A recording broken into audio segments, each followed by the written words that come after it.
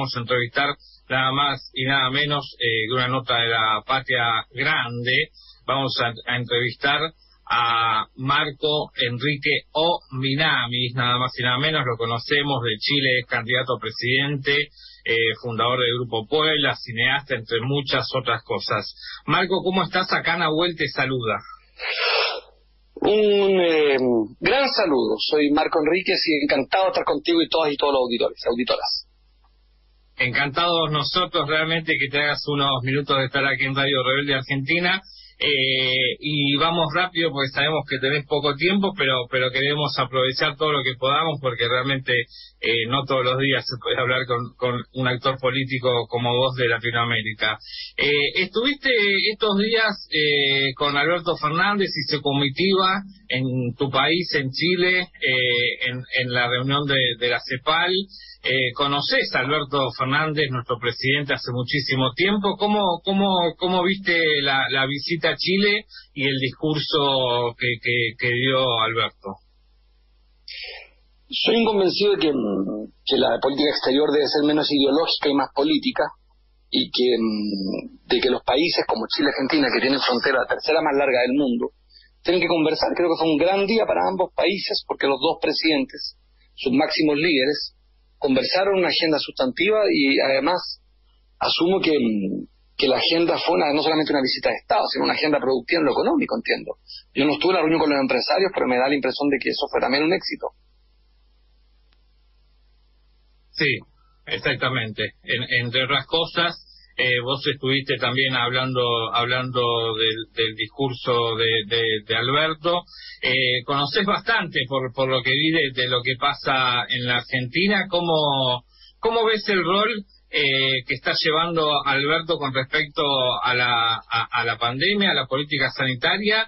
Y, y, de lo que sepas, cómo ves el rol de la oposición acá en la Argentina con respecto también a eso, eh, a, la política sanitaria? me cuesta mucho ser comentarista de tu país porque me parecería injusto para, para ustedes, pero soy un gran, respeto muchísimo la dinámica en la que está este demócrata, este profesor de Derecho Penal, que es Alberto Fernández, eh, un, dialogante, un, articulador, un hombre que cree en los equilibrios, un hombre prudente. Creo que él representa bien una fuerza tranquila de cambio. Y en materia de pandemia es muy difícil comparar, aunque es fascinante. ¿ah? Yo creo que comparar es fascinante, pero también es tradicional. Y por tanto prefiero hablar de Chile que de Argentina, porque no me considero legítimo de comentar eh, el manejo sanitario. Sí creo que lo de la vacuna, eh, lo que ha hecho Argentina, lo miramos con mucha admiración y mucho respeto desde Chile. Chile tiene una dificultad por la cantidad de vacunas que están llegando, pero eso es una dificultad también que comparten otros países. Sí, exactamente. Es, es una dificultad, eh, bueno, obviamente, que, que, estamos, que estamos llevando todos. Eh, Marco, te llevo entonces, sí, cómo no, para, para, para tu país y para, para, para, para tu persona, para tu figura. Eh, contanos, por favor, a los oyentes de Argentina que por ahí no, no conocen eh, tu historia, lo, cómo te están persiguiendo judicialmente eh, hace ya varios años, ¿no? Eh, por ahí con el conocido Laufer que, que está en toda la región, que acá sí conocemos, pero a vos te están persiguiendo judicialmente, tenés una, una causa penal abierta hace años y, y, bueno, ahí está como, como, como que no avanza realmente eh, y ahora ya fuiste a la CIDH, a la Comisión Interamericana de Derechos Humanos, ¿no? Sí, fueron 13 causas. Sí, efectivamente, yo creo que el, que el matrimonio entre fiscales corruptos y algunos medios de comunicación eh, eh, fue una técnica muy, muy eh, repetida en distintas democracias y, no, y a mí me tocó en Chile. Em, el fiscal que me acusó hoy día es asesor del presidente Piñera. evidentemente, eso en cualquier Estado de Derecho sería inaceptable, pero en América Latina tierra salvaje materia institucional se tolera, se, vive con eso. Efectivamente, tengo hoy día, tuve 13 causas, se me voy cerrando todas, una más absurda que la otra, eh, y, ha sido muy doloroso, muy humillante, y voy saliendo, y efectivamente hoy día estoy pidiendo que me devuelvan el derecho a votar, porque es una, una excentricidad institucional que alguien sin juicio después de siete años, sin condena, se le prohíba ejercer el derecho a voto. Vale decir, podría ser presidente de Chile pero no votar. Sin condena. Esa es una norma que contraviene el derecho internacional, contraviene la Convención Interamericana, que es vinculante para Chile, y por tanto he pedido a la Comisión Interamericana de Derechos Humanos que se pronuncie, porque es una violación flagrante a un derecho humano, un derecho básico.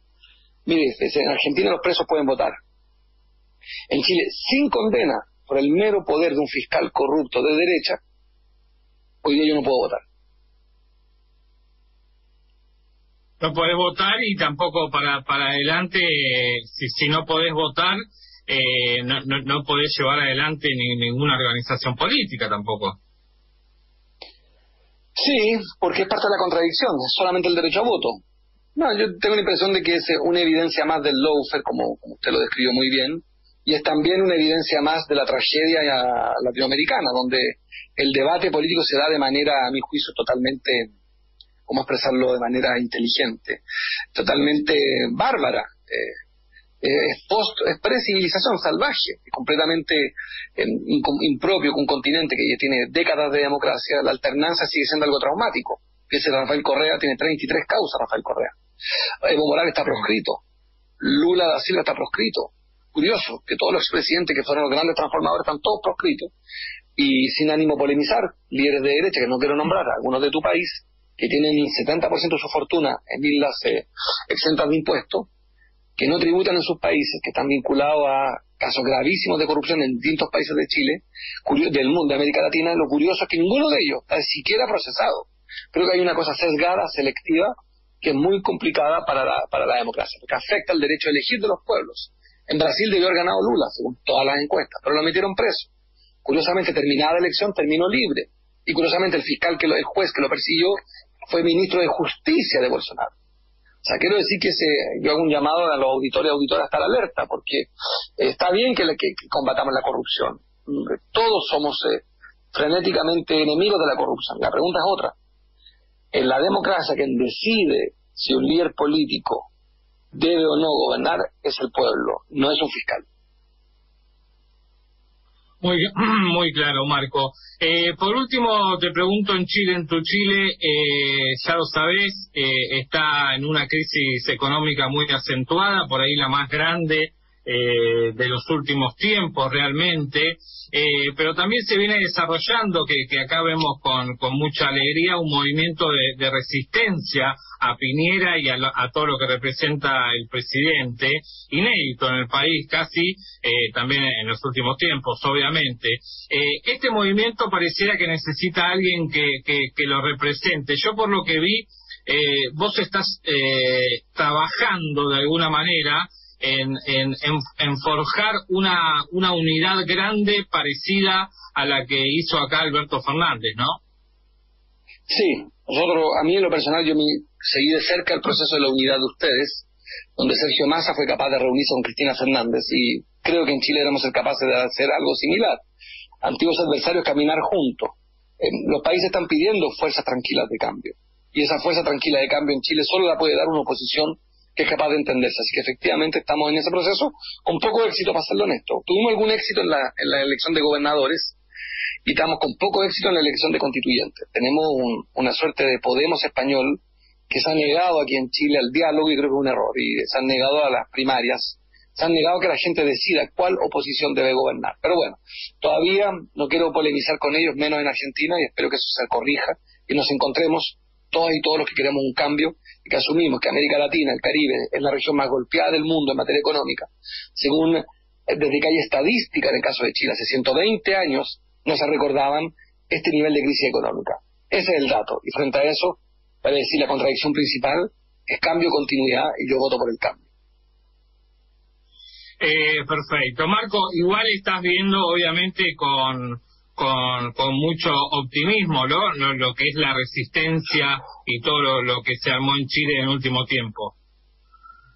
Sí, yo creo que en Chile tenemos una oportunidad, pero, pero los liderazgos políticos, como decía Simón Bolívar, eh, tienen que garantizar algo, el encuentro de una base social con sus liderazgos.